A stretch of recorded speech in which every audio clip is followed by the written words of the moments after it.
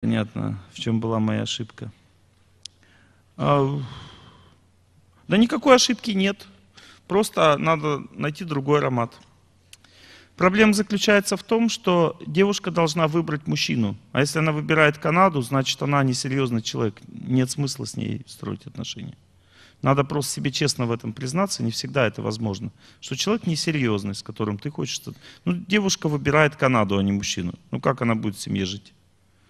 Представьте, для нее семейная жизнь это менее важно, чем страна какая-то.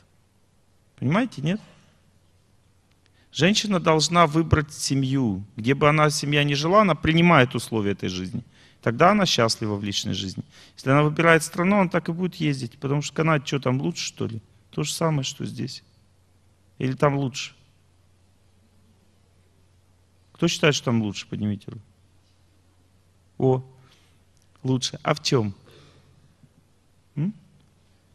А в чем лучше? Вот скажите, вот в чем там лучше? Ну, давайте выясним. А? А? Как? Добрее люди? М-м. А вы долго там были, нет? Нет? А сколько? Неделю? Я проконсультировал в Лос-Анджелесе 150 русских иммигрантов. Знаете, я что узнал? Интересную штуку.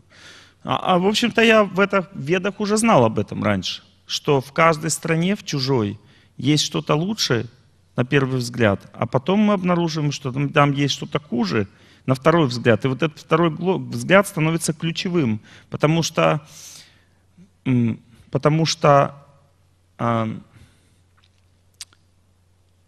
то, что нам радостно видеть, как на курорте,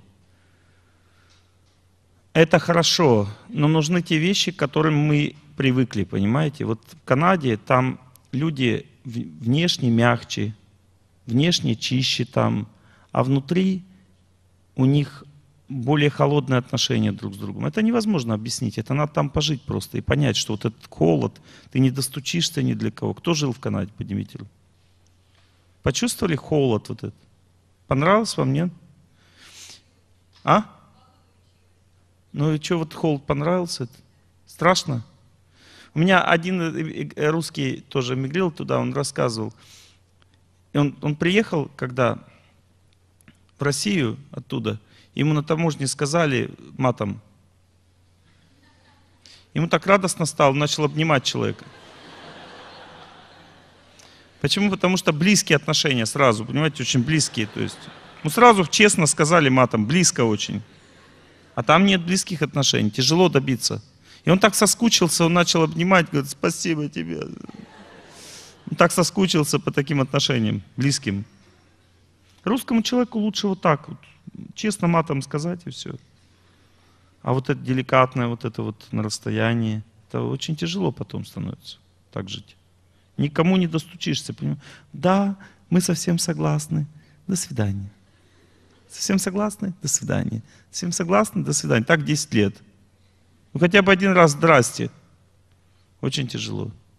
Не то, что там плохо, там хорошо, но для других людей. Там хорошо жить, но для другого склада людей, понимаете? А нам вот такая жизнь нужна. Но иногда кому-то там лучше. Очень редко бывает. Такое бывает очень редко.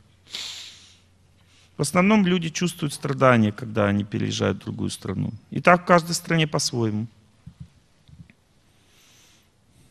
Но в целом система такая. В Америке больше холода и тяжелее создать семью. А мы семейные люди по природе. Нам надо семья.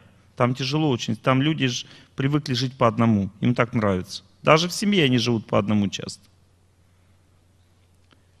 На Западе там ну, там есть много чего другого хорошего. Там есть, допустим, вот эта вот роскошь жизни, есть как бы устроенность, есть трудоустройство такое стабильное. В чем-то стабильность, в чем-то трудности. На Западе люди более деликатные в отношениях, более обидчивые. Им также тяжелее, чем нам строить близкие отношения друг с другом. Они любят как бы определенность жизни и законы. Понимаете, у нас с этим проблема у русских людей, с законами. Поэтому там бояться русских людей страшно на Западе. Потому что русские что-то создают, все, законы не соблюдаются. И они страшно, страшно переживают от этого. У нас другая природа, более свободная, понимаете? Там надо, надо просто счастливо жить. В такой вот своей природе, русской. На Востоке там люди более, чем мы, близкие друг к другу. Они, у них более глубокие отношения друг с другом, более религиозные, устойчивые семьи, религиозные традиции. У нас меньше традиций религиозных, чем там. Знаете, все по-разному. Ты приезжаешь на Восток, ты не сможешь так жить, как они. Женщина не сможет так вести себя, как мужчина хочет, восточный. Западная женщина так не сможет себя вести, ей будет очень тяжело. Поэтому каждый лучше жить там, где ты живешь. Два червячка вылезли, как бы, и один маленький сынок говорит, папа, а правда, а, в яблочках червячки тоже водятся? Правда. А в арбузиках? Правда. И в малинке даже водится, правда. Ну давай там жить. Нет, сынок, поползли назад, там наша родина. Понимаете? Где родина, там и надо жить. Вот такой ответ.